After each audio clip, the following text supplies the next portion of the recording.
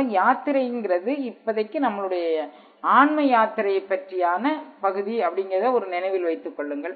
ஆன்ம யாத்திரை மேற்கொள்ளக்கூடிய ஒவ்வொருத்தரும் இப்போ நான் நான் சொன்ன அனுபவம் இந்த பகுதிக்கும் பொருத்தமான அனுபவமே. நான் தோற்றி மெய்யடியார்க்கு அந்த அவன் வந்து எப்படி எதிர்ந்து வந்து தோற்றி எதிர்ந்து வந்து நமக்கு எதிர் சேவை செய்வதற்கு எப்படி வருகின்றான் எம்பெருமான்? ஒரு அருளாளர் இருந்தாங்கன்னா அவங்க தன்னுடைய உடலையே கோயிலாக்கும் போது அந்த உடலுக்குள்ள இருக்கக்கூடிய பயணத்தை வெளிக்கொண்டு வந்து நமக்கு வெட்டு வழி அனுபவத்தோடு கரையச் செய்து அருளடியவர்களை அறிமுகப்படுத்தி வைத்து மீண்டும் அவ் அனுபவத்திலிருந்து நாம் நழுவி விடாமல் செய்யும் பெருங்கருணையே எதிர் சேவை. எதிர்ந்து வ- வந்து நம்மை ஆட்கொள்வது அப்படிங்க அதே ஈர்த்தென்னை ஆட்கொண்டங்கிறாரு கரும்பு கரும்புதர் சுவை காட்டிங்கிறாரு இரும்புதர மனத்தேனை ஈர்த்து ஈர்த்துங்கிறாரு. அந்த எதிர் சேவையை தான் இப்படி மாதிரி எல்லாம் நமக்கு அறிமுகப்படுத்தி நீங்க இது மாதிரி ஒரு அருள் அனுபவம் பெற விளையும் போது உங்க உடல் கடந்த பயணத்தோடு இப்பயணத்தை கரையச் செய்வது கலக்கச் செய்வதுங்கக்கூடிய ஒரு பொருள்ல இதை சொல்லியிருக்கிறாங்க. அப்ப இந்த பகுதிக்கு நம்ம இந்த நெ- நிறைவு பண்ணிக்குவோம். மணிக்கதமம் திறபாயோ மறைப்பெல்லாம் தவிர்த்து மாற்றறியா பொன்னேனின் வடிவது காட்டாயோ?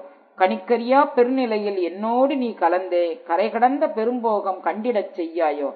தனிக்கரியா காதல் மிக பெருகுகின்றது அரசே தாங்க முடியாது இனி என் தனி தனித்தலைமை பதியே திணிக்கலையாதியெல்லாம் பணிக்கவல்ல சிவமே சித்த சிகாமணியே என் திருநடநாயகனே. அதாவது ஒவ்வொரு உயிரும் இந்த நிறைநிலை அனுபவத்தை பற்றி நம்ம இவ்வளோ நேரம் பேசணும் அந்த நிறைநிலை அனுபவம் எப்போது கிடைக்கும் எப்படி கிடைக்கும்னா இறைவன் வந்து மணிக்கதவம் திருக்கதவம் திறத்தல் அப்படிங்கக்கூடிய ஒரு அருட்கருணை அவன் செய்தால் மட்டும் இது கிடைக்கும். நம்ம முயற்சினால கிடைக்குமான்னா நம்ம முயற்சியால நமக்கு கிடைக்க முடியாது. அப்ப நம்ம முயற்சியை செஞ்சு கிடைக்காத ஒன்றுக்கு எதுக்கு நம்ம பிரயாசப்படுவானா நீங்க எதுக்கு இந்த திருவாசகத்தை கையில் எடுத்துக்கிட்டு இப்படி கூப்பாடு போட்டுட்டு இருக்கீங்க. நாங்களும் வந்து எங்கள் நேரத்தை வேஸ்ட் பண்ணிட்டு ஒரு மணி நேரம் ஒன்னே கால் மணி நேரம் இப்படி இருக்கோம். அப்படி ஒரு சிந்தனை உங்களுக்கு தோணலாம். அப்ப திருக்கதவம் திறப்பது இறைவனுடைய கருணை எனில் இறைவன் யாரை ஆட்கொள்ள விரும்புகின்றானோ அவர்களுக்கு திருக்கதவம் திறந்துட்டு போறான். யாரை வந்து அவன் அவனுக்கு தகுதியான ஆள்னு நினைக்கிறானோ அவர்களுக்கு திருக்கதவம் திறந்துட்டு போறான். அப்ப தகுதி இல்லாத நாங்கள்லாம் என்ன பண்ண முடியும்? யாவரும் பெறவரும் ஈசன் இறைவன் வந்து. அந்த யா- அவர் இதுல வந்து தனியாக ஒரு பகுதியை சொல்லலை. இறைவன் வந்து எந்தமரா எ- எந்தரமும் ஆட்கொண்டு எந்த தரத்தில் உள்ளவர்களாக இருந்தானாலும் அவர்கள் கீழே மேல படிச்சவன் படிக்காதவன் முயற்சியுடைய முயற்சி அப்படிலாம் அவன் பார்க்கல. எந்தரமும் ஆட்கொண்டு எல்லா தரத்தில் உள்ள உயிர்களையும் அவன் ஆட்கொள்ளுதான். அதனாலதான் திருவிழாடல் புராணத்துல நாரைக்கு முக்தி கொடுத்த ஸ்தலம் அப்புறம் இது வலியான்கக்கூடிய ஒரு பறவைக்கு முக்தி கொடுத்த ஸ்தலம் எத்தனையோ யானைக்கு முக்தி கொடுத்த ஸ்தலம் எத்தனையோ ஸ்தலங்கள் திருவிழாடல் புராணத்தில் சொல்லாங்க. இப்பவும் நம்ம பாடல் பெற்ற ஸ்தலங்கள்லாம் நீங்க பார்த்தீங்கன்னா எறும்பியூர் கண்டியூர் எல்லாம் எறும்புக்கு மோட்சம் கொடுத்த இடம். இப்படி எல்லாம் ஒரு சாதாரண ஓரறிவு உயிர்ல இருந்து மனித உயிர் வரைக்கும் எல்லாருக்கும் ஒவ்வொரு இடத்துல ஒவ்வொரு ஒவ்வொரு அருள் அனுபவம் கிடைச்சிருக்கு. திருவனைக்காவில மூன்று உயிர்களுக்கு ஒரே நேரத்துல மோட்சம் கொடுத்திருக்கிறாரு. ஒரு யானைக்கு ஒரு சிலந்திக்கு திரு ஆணை ஒரு வண்டிக்கு மூன்று பேருக்குமே ஒரே இடத்துல முக்தி கொடுத்திருக்கிறாரு. திருவானைக்கால. திருக்காலகஸ்தியில அதே மாதிரி மூன்று உயிருக்கு ஒரே இடத்துல முக்தி கொடுத்திருக்கிறார். இதெல்லாம் வந்து இவங்கெல்லாம் ஒரு ஒரு உயிர் ரெண்டு உயிர் மூணு உயிர் நாலு உயிர் அஞ்சறி ஒரு உயிர் ஆறறி உயிர். ஓரறிவு ஒரு உயிர்ல இருந்து ஓரறிவு உள்ள உயிர்ல இருந்து ஆறறிவு உள்ள உயிர் வரைக்கும் ஒன்று போல இறைவன் பார்க்கறான் பாருங்க. அப்ப எல்லாருக்கும் ஒரே நீதி. அவனுடைய நீதி பண்பு எல்லாருக்கும் ஒரே நீதியை செய்யறது அப்ப இதனாலே அவன் வந்து எனக்கு தான் கொடுப்பான் உங்களுக்கு கொடுக்க மாட்டான் உங்களுக்கு தான் கொடுப்பான் எனக்கு கொடுக்க மாட்டான் அப்படிங்கிறது கிடையாது. அப்ப இறைவனை அடைவதற்கு என்ன வழி அப்படின்னா எந்த மரம் அவன் எந்த மரமும் ஆட்கொள்ளக்கூடியவன் தெரிஞ்சு போச்சு யாவரும் பெறவரும் ஈசன்னு தெரிஞ்சு போச்சு. அப்புறம் நம்ம நம்ம எல்லாருக்கும் அவன் கொடுத்துட வேண்டியதானே அவன் சோசியலிசவாதியா இருக்கலாம் கம்யூனிசவாதியா இருக்கலாம் சம உரிமையோடு எல்லாருக்கும் கொடுத்துட வேண்டியதானே ஆனா நம்மளுடைய கர்மா தியரின்னு ஒண்ணு நமக்கு வருது. எப்படின்னு கேட்டீங்கன்னா நாம் எதை செய்தோமோ அதனுடைய பக்க விளைவுகளையும் பின் விளைவுகளையும் அனுபவிக்க வேண்டிய வண்ணத்தில் நம்ம ஆறும் கருவில் அமைந்தபடி நம்ம பேசுறது சிந்திக்கிறது செயல்படுறது இவைகள் எல்லாம் நம்ம நம்மளுடைய எண்ணங்கள்னால இல்லை.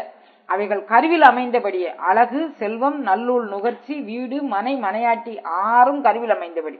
அப்ப கருவில் நம்ம என்ன வாங்கி வந்திருக்கோமோ அந்த கர்மா தியரிகள் அதற்கு தகுந்த மாதிரி உண்டான கர்ம வினைகளுக்கு தகுந்த மாதிரி நம்மளுடைய எண்ணங்களும் சிந்தனைகளும் போகுது.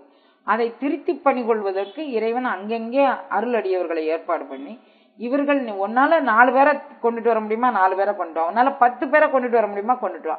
நூறு எல்லாரையும் நான் வீடு பேருக்கு தான் இருந்தேன் ஏன்னா நான் அந்தணன் அங்கணனாய் அரைகூவி வீடறலும். நான் கூப்பாடு போட்டு வீடு பேர் அழிக்கிறதுக்கு தயாரா இருக்கிறேன். நீங்க யார் யார் போய் நூறு பேரை கூட்டிட்டு வாங்க ஆயிரம் பேரை கூட்டிட்டு வாங்க லட்சம் பேரை கூட்டிட்டு வாங்க பிரச்சனை கிடையாது.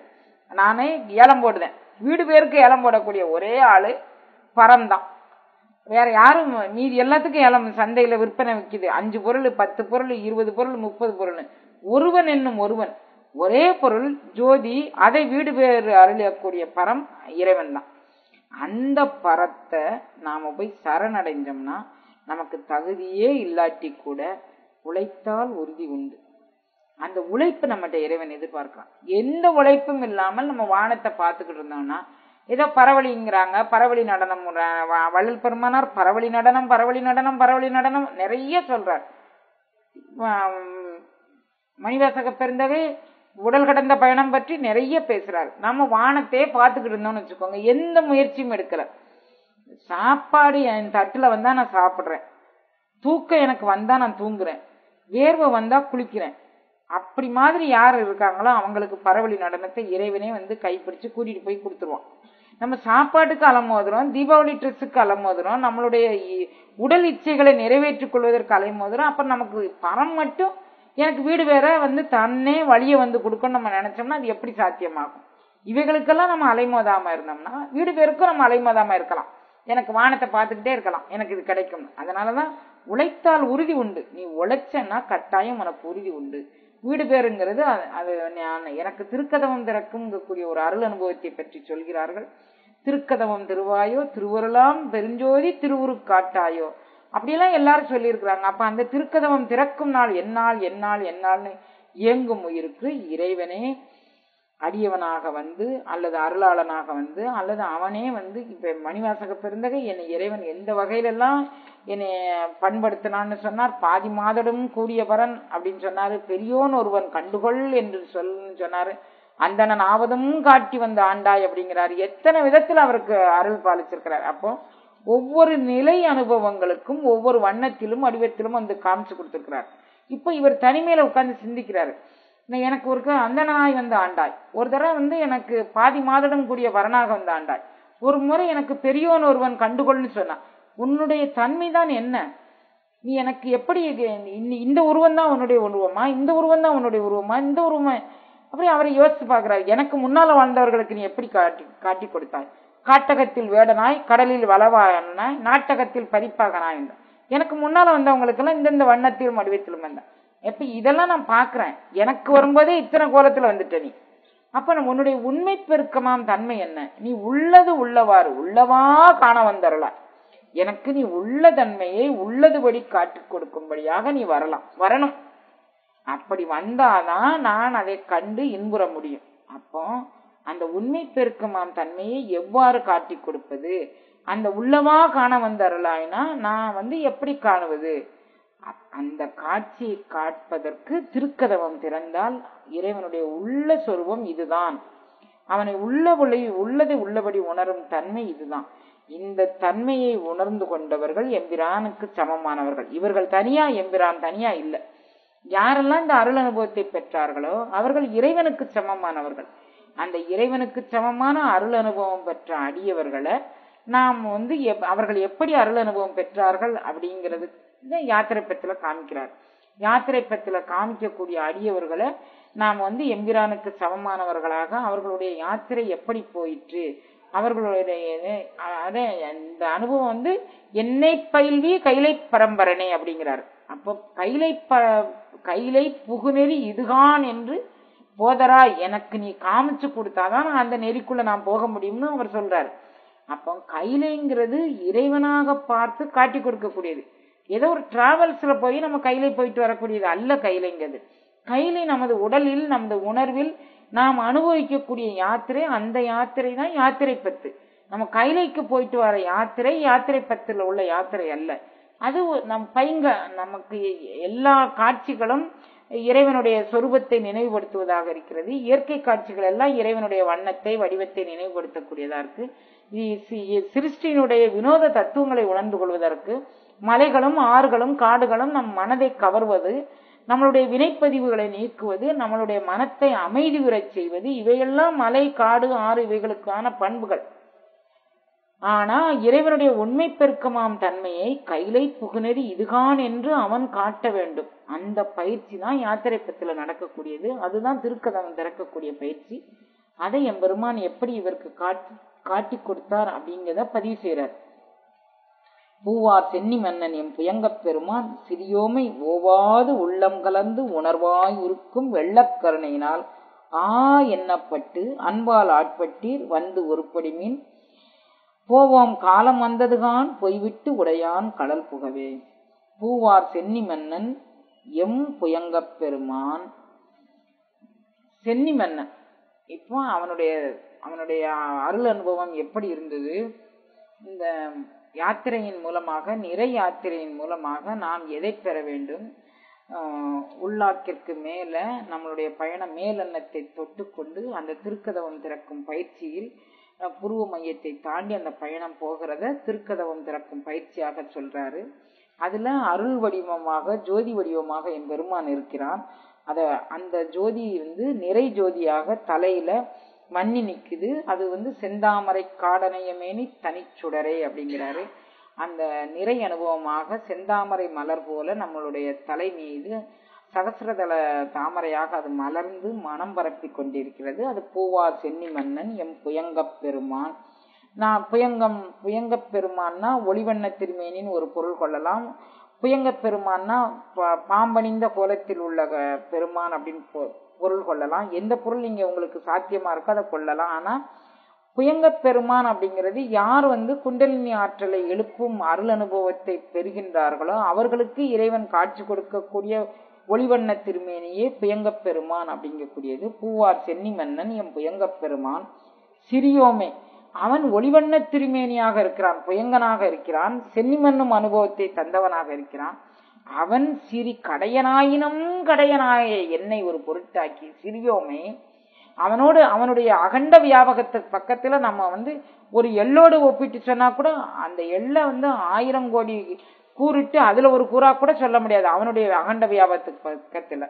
அப்படிப்பட்ட வியாபகம் உள்ள பரம்பொருள் சிறியோமை ஓவாது உள்ளம் உருக கலந்து எப்படி ஆண்டு கொண்டான்? சிறியோமை ஓவாது உள்ளம் கலந்து உணர்வாய் உருக்கும் வெள்ளக்கருணையினால்.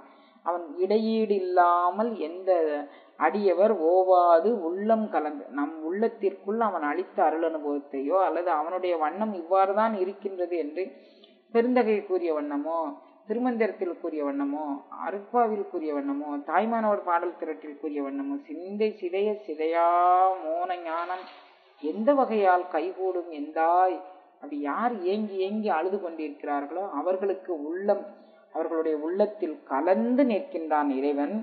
அப்ப ஓவாது உள்ளம் இடையீடு இல்லாமல் ஓவாதுன்னா இடையீடு இல்லாமல் நினைப்பும் மறப்பும் அற்ற இடந்தனை பிரியாத சிவம். இடையீடு இல்லாமல் யார் நினைந்து கொண்டிருக்கிறார்களோ ஓவாது உள்ளம் கலந்து உணர்வாய் உருக்கும் வெள்ளக்கருணையினார் அவன் அவன் ஒரு வெள்ளக்கருணை. என்ன என்ன வெள்ளம்? காட்டாற்று வெள்ளம் வந்தா எப்படி இருக்கும் அப்படின்னு கேட்டீங்கன்னா அண்ட துரிசு அகில துரிசு பிண்ட துரிசு பேரு துரிசு அனைத்தையும் அப்படி தவிடு பொடி ஆக்கிக்கிட்டு போகும் காட்டாற்று வெள்ளம்.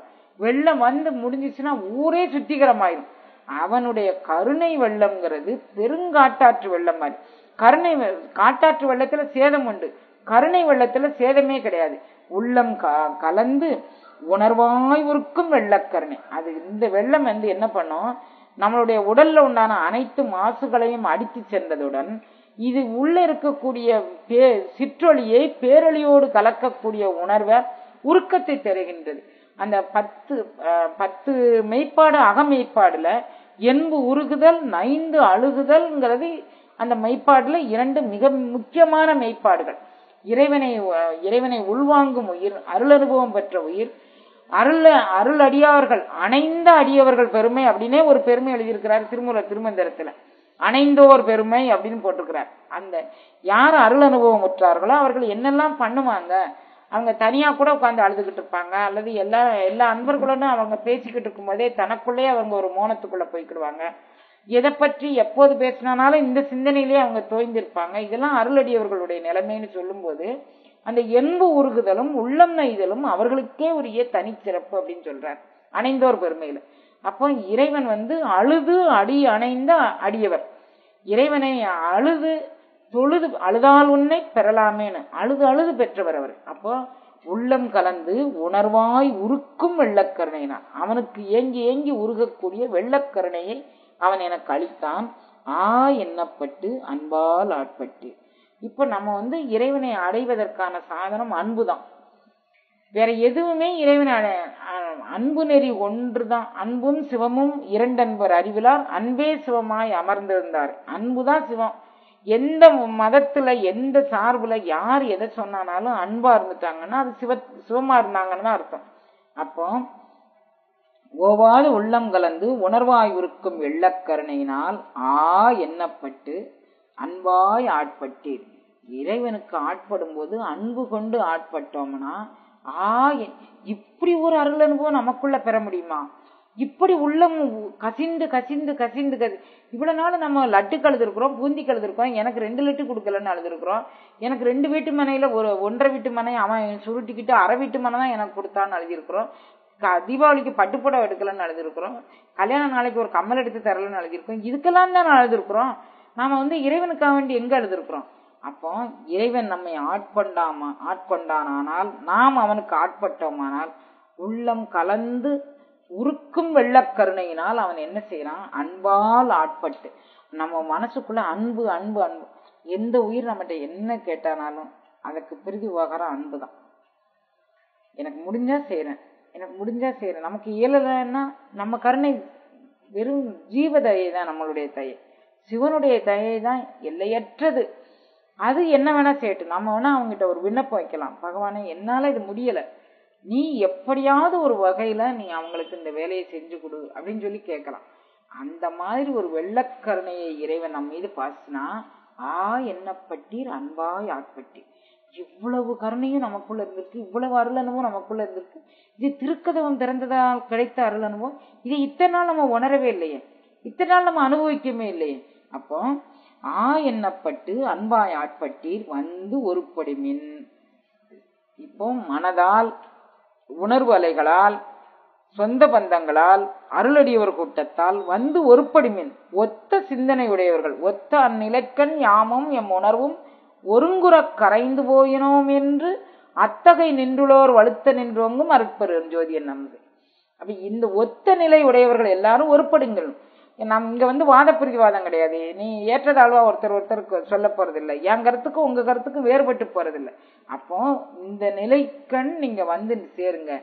எல்லா அருளடியவர்களும் வந்து ஒருபடி மீன் உங்களுடைய மனதால் புத்தியால் சித்தத்தால் அகங்காரத்தால் தனிப்பட்டு நிற்காதீர்கள். இங்க வந்து ஒருப்படுங்கள். இந்த ஒ- ஒருமைப்பாடு உங்களை பேரண்ட நாயகனோடு சேர்த்து வைக்கும் அப்படின்னு சொல்றார்.